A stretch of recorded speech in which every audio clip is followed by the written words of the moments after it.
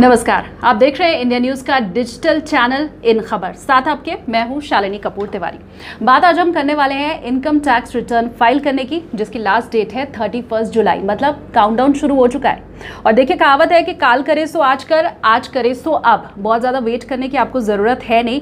आखिरी दिन तक इंतज़ार मत कीजिए, क्योंकि आखिरी दिन वेबसाइट के ऊपर बहुत ज़्यादा ट्रैफ़िक होता है बर्डन बहुत ज़्यादा होता है, और ऐसे में आपको दिक्कत हो सकती है, क्योंकि ज़्यादातर केसेस अब ई फाइलिंग के ही आते हैं।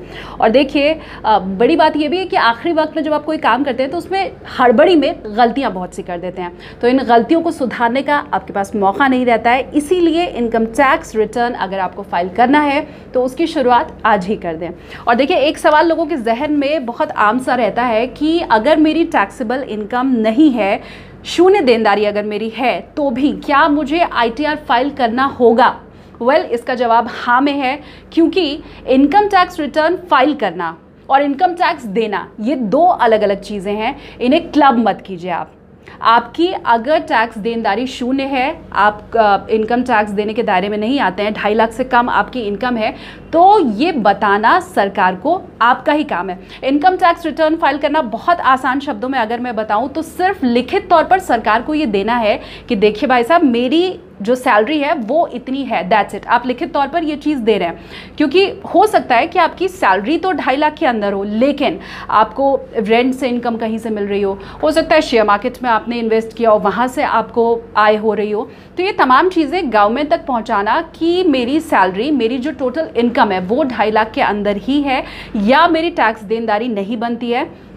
स्टैंडर्ड डिडक्शन और एटीसी के तहत जो छूट मिलती है, वो ए के बाद जो छूट मिलती है, ये सब तमाम चीज़ें हटा करके मैं ढाई लाख के अंदर आता हूँ और मुझे टैक्स नहीं देना है। ये बताना आपका ही काम है। तो इनकम टैक्स रिटर्न आपके लिए फ़ाइल करना बेहद ज़रूरी है। अब लेट पेमेंट की भी हम बात कर लेते हैं। कई बार ऐसी परिस्थितियाँ होती हैं जब आप तय समय पर नहीं दे पाते हैं टैक्स तो ये मैं आपको बता दूँ, इसके बाद आप आईटीआर फ़ाइल तो कर सकते हैं, लेकिन जुर्माने के साथ आपको करना होगा। बिना जुर्माने के काम आप नहीं कर सकते हैं। पाँच लाख के अंदर अगर आपकी इनकम है तो आपको जुर्माना मैक्सिमम एक हज़ार रुपये तक देना होगा। लेकिन पाँच लाख से ज़्यादा अगर आपकी आय है तो 31 जुलाई के बाद 31 दिसंबर तक आपको देना होगा कुल पाँच हज़ार रुपये का जुर्माना। और उसके बाद अगर आप फ़ाइल करते हैं, यानी एक जनवरी से लेकर के 31 मार्च 2020 तक अगर आप ये काम करते हैं तो आपको दस हज़ार रुपये तक जुर्माना देना होगा। उसके बाद भी अगर आपने ये काम नहीं किया तो आपको मौका नहीं मिलने वाला है आगे। ये लास्ट डेट है। तो देखिए, जब जुर्माना देना ही है तो वो काम क्यों किया जाए? टैक्स तो आपको भरना ही है, बिना जुर्माने के ही भर दें। इकतीस जुलाई के अंदर ही भर दें। बड़ी बात। पाँच लाख तक आय वालों को टैक्स नहीं देना है। इस बात का ज़िक्र इंटरिम बजट में ही कर दिया गया था। तो अगर आप ये सोच रहे हैं कि पाँच लाख तक आपकी आय है, इसलिए आपको टैक्स नहीं देना पड़ेगा तो मैं बताऊँ, आप ये गलत सोच रहे हैं, क्योंकि ये जो नई बात सामने आई है, ये असेसमेंट ईयर के लिए है। चलते चलते एक चीज़ मैं आपको और बताऊँ, पहले दो साल का भी लोग इनकम टैक्स रिटर्न एक साथ फ़ाइल करते थे। अब ये चीज़ पॉसिबल नहीं है।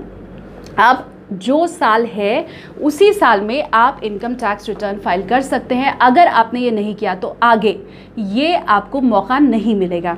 दूसरी चीज़ पाँच लाख तक वाली बात क्योंकि हमने एंट्रीम बजट में ही देखा कि ऐलान तो कर दिया गया था कि पाँच लाख तक अगर आपकी इनकम है तो आप आ, को टैक्स नहीं भरना पड़ेगा। मैं याद दिला दूँ ये आ, जो अगला जो असेसमेंट ईयर है 1920 2019-20 इसके लिए है, जो फाइनेंशियल ईयर 17-18 जिसके लिए आप आईटीआर भर रहे हैं, उसके लिए नहीं है।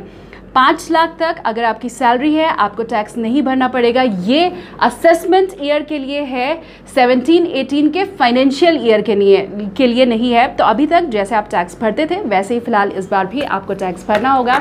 और कुछ ऐसे वीडियोस के लिए आप हमारे यूट्यूब चैनल इन खबर को सब्सक्राइब ज़रूर करें। पसंद आया हो ये वीडियो तो लाइक करें।